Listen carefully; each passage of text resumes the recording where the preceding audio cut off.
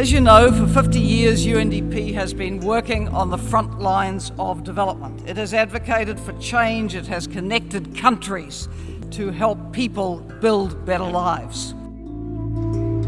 The things we hear about pra uh, pragmatism is the way the UNDP is dealing in the world. And I think in Lebanon in particular, we depend on this mentality.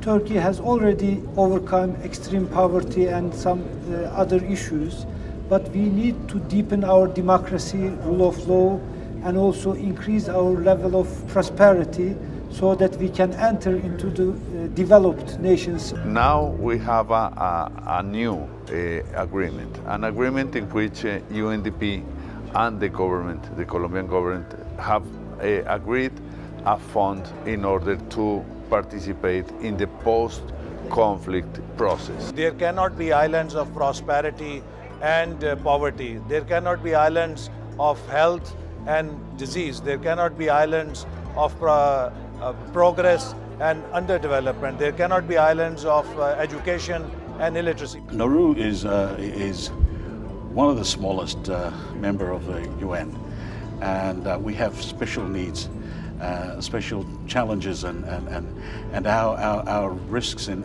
risk in, in, in these uh, uh, times with, with climate change uh, uh, is, is unique as well.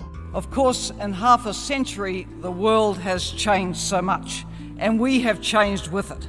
But what has never changed is the core mission the core mission of working with countries on the eradication of poverty and these days with a new development agenda to do that in a way which also reduces inequality and exclusion and protects the planet on which we all depend.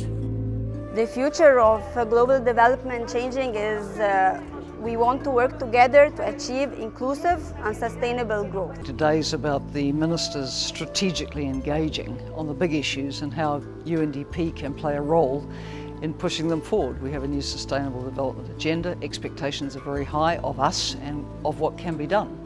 So getting the direct input of the ministers is vital. I, I think there's a consensus globally that UNDP has been an instrumental partner at the development level. Um, I think this is why we see all these uh, delegates and, and high-level representation and key uh, development or finance or, or foreign ministers uh, around the world uh, participating to celebrate uh, this 50-year uh, milestone and to also emphasize the need to continue UNDP's leadership and ability to adapt and transform to be more responsive to the needs of the developing world as we move on implementing the SDGs the thing I liked most was when the Pakistani minister was asked, do these guys from UNDP lecture you? He said, no, they, they always listen to us and to the national priorities, and they come to us with a zero political agenda. That has to be preserved. The most important things I have learned today is um, how to balance economic growth with uh, protection of environment. Well, I think that working with UNDP has been a wonderful experience for our cooperation. The procedures, the, the way of working of UNDP has been helpful for our bilateral cooperation. Of course, there are challenges, but uh, the global community has grown up uh, sufficient enough to cope up the challenges.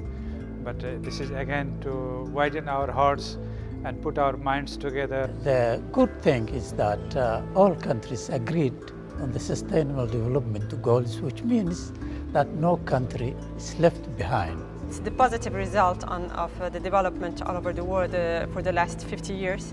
And second, of course, is uh, the success stories that we heard in different countries about ending poverty and about achieving uh, sustainable development goals. I think new donors will come in and I also think there will be more of a collaboration between the private and the public sector. 2015 was such a success for the UN, everyone coming together to make the Sustainable Development Goals. Now it's all about implementation, implementation, implementation. It's up to us.